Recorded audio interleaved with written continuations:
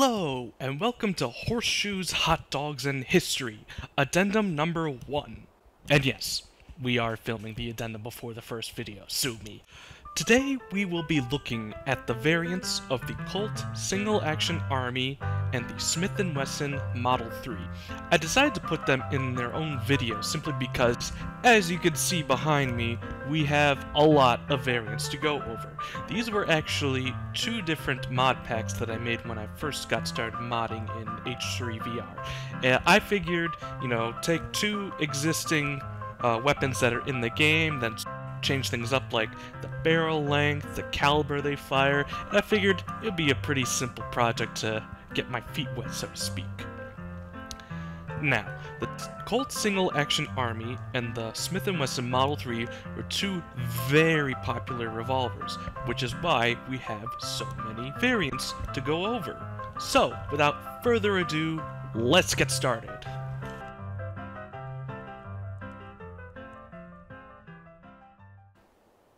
So, we'll start with the Colt Single Action Army.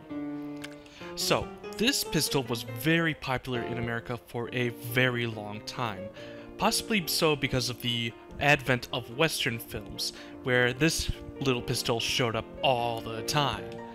Now, this is the vanilla version that is in H3VR, and this is what is commonly known as the artillery model, with its 5.5 inch barrel and chambered in 45 long Colts. Now, the artillery name seems to be a bit of a misnomer, uh, but that is the name that stuck with this model. So this is one of the most common variants for both military and civilian ownership, which is why I think this is the representation that is used in the game. The other military version was the Colt Cavalry model. This has a 7.5 inch barrel and this was used by the cavalry. This longer barrel would give it better accuracy, and because cavalrymen often had saddle holsters, the uh, extra length wasn't really much of an issue. One of the other very common models that was made at the original run of the Colt Single Action Army was the Quick Draw model. This has a 4.75 inch barrel, which comes just at the ejector rod length right here. Now, this is commonly called the gunfighter model, the quick draw model, the civilian model. Uh, the reason why this was called the gunfighter or quick draw model is because with this shorter barrel, this would be easier to draw out of the holster very quickly. You can see these black grips are actually vulcanized rubber, which was one of the common alternatives to wooden grips. I also made one in 38 Special, which wasn't in the initial production run, but, you know, these 38 caliber uh, revolvers for the Colt were pretty common. They had, came in a lot of different chamberings. One of the less common barrel lengths is this 3-inch sheriff's model, or storekeeper's model. You can see here that this has no ejector rod on it because the barrel's just too short. And this was commonly used, as you can guess by the name, by storekeepers, bankers, etc. And I decided to give this a chrome and pearl finish because I figured, you know, a wealthy person might want to bling out their little sidearm with this overall small length, you could easily hide this underneath a drawer, so this would be pretty easy to conceal. During the original production run, less than 2,000 single-action armies were made in 44 rimfire, because even though rimfire was becoming an obsolete cartridge type, there was still a lot of it around. So Colt decided to make these revolvers for that surplus ammunition. Uh, it, otherwise, it's not very different from the baseline model. It should be noted that after the original 2000 or so, they did not make any more in 44 rimfire. Now, one chambering that was very popular for a long time is this, the Colt Frontier 6 shooter, chambered in 4440 Winchester, which is the same cartridge that the Winchester 1873 rifle was chambered in. So this would often be used as a companion piece to that rifle because you can just carry the same ammunition for both weapons, which made this a very convenient revolver to carry on your person. Now this is a very interesting model. This is the Colt Bisley.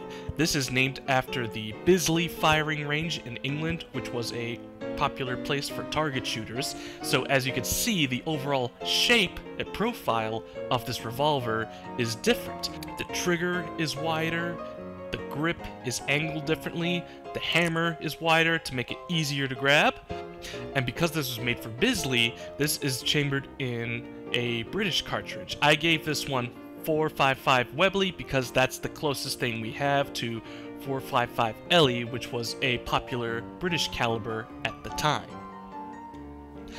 I decided to add two modern variants of the Colt single action army in this just because I could, and this demonstrates how this remained very popular today.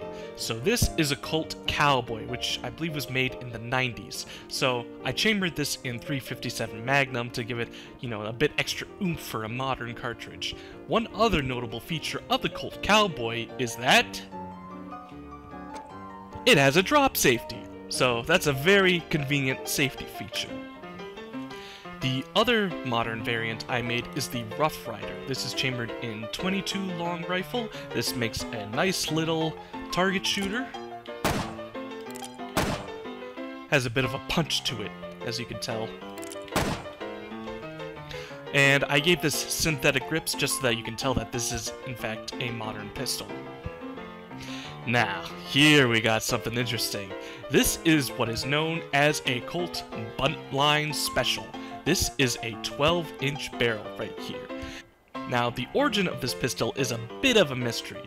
It gets its name, the Buntline Special, from the dime store novelist Ned Buntline, who wrote a whole bunch of stories about Wyatt Earp, which probably are untrue, or just heavily embellished. He claims that at the gunfight at OK Corral, Wyatt Earp carried a Colt single-action army with a barrel of this length or similar. Now, while this is not a common configuration of the Colt single-action army, you could get a long barrel on custom order. This was usually paired with a pistol stock that would attach in the rear and would be used as kind of an impromptu revolver rifle. Still, this is an incredibly goofy piece of work, and very likely what inspired the song Big Iron. Our final Colt variant is this Colt Cattleman. This is actually more of an Uberti reproduction than an authentic time period piece, because while Colt did make a revolver carbine, that was the Colt 1855, before the single action army. And that was never converted into a centerfire cartridge, that was a percussion rifle.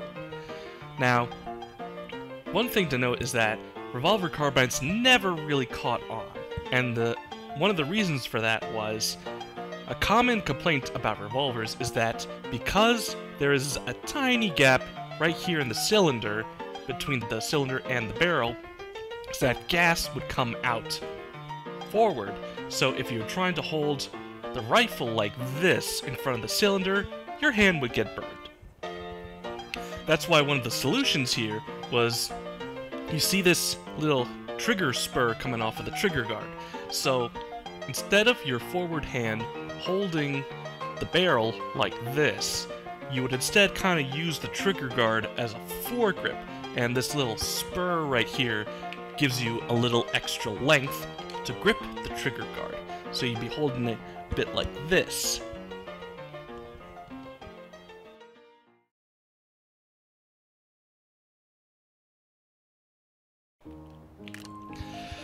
Now let's move on to the Smith & Wesson Model 3. Now, the version that's in the game is the Schofield model, which is probably one of the better known variants. This variant was requested by US Army Major Schofield. The one key feature that distinguishes this from other Model 3s is the latching mechanism. You can see here that it is actually attached to the frame and not to the barrel as is the case with other Model 3s, so this is a little bit stronger. And this was originally chambered in 45 Schofield, which is a little bit underpowered compared to the 45 Long Colt. And because this was the only pistol that ever used 45 Schofield, it was never very popular. So between the ammo not being as strong and not being as common, the 45 Schofield never really stuck around. What's interesting is that a lot of surplus Schofield revolvers had their barrels cut down and were distributed by Wells Fargo, which was originally a stagecoach company.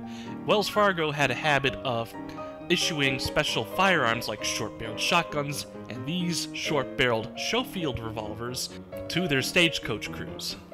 And this has been very popular in the collector's market.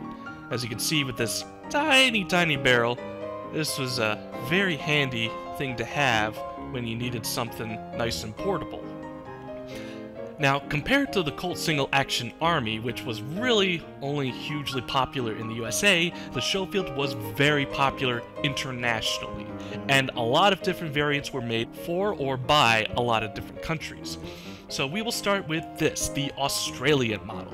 So we have longer barrel, and this was usually equipped with a stock as well. This was ordered by the Australian Mounted Police as a sort of revolver carbine. So sort of like the Buntline, you have kind of a handgun with an extra long barrel that was meant to be used with a stock so that, you know, it can be a pistol or a rifle depending on whether what you needed. Uh, I don't think this really would have helped against the emus, though. Another country that requested Model 3s was the Ottoman Empire, and much like with the Colt, this one was chambered in 44 Henry rimfire because they had a lot of 44 rimfire because they really loved their Henry rifles.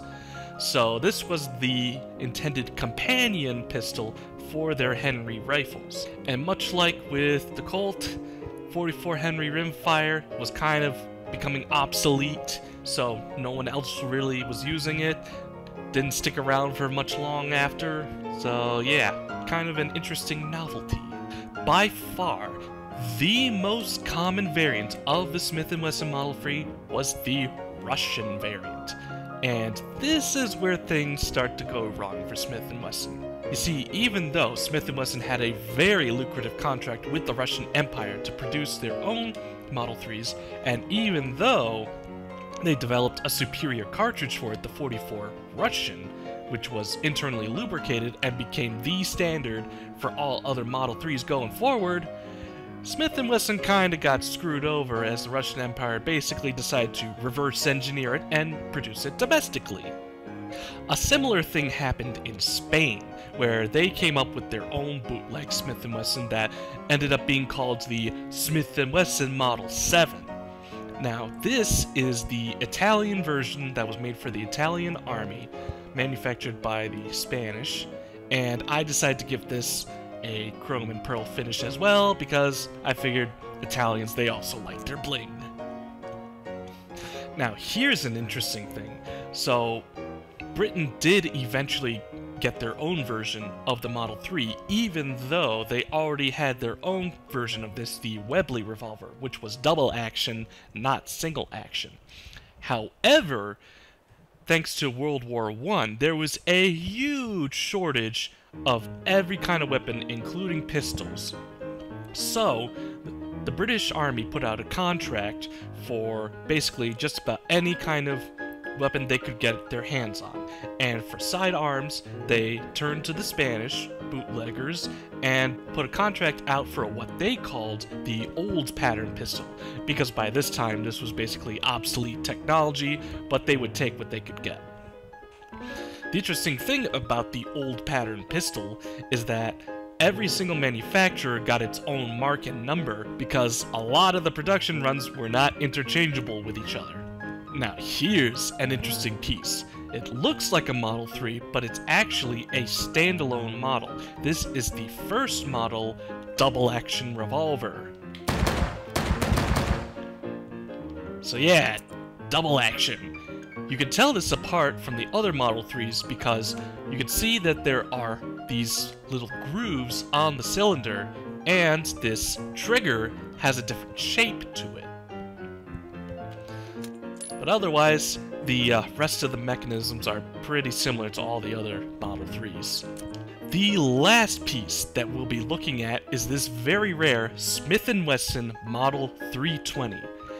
Now, remember what I said about revolver carbines being not very popular because with the gas seal, you would get your forward hand sprayed by gas. This solves that issue, in much the same way that the Russian Nagant revolver did.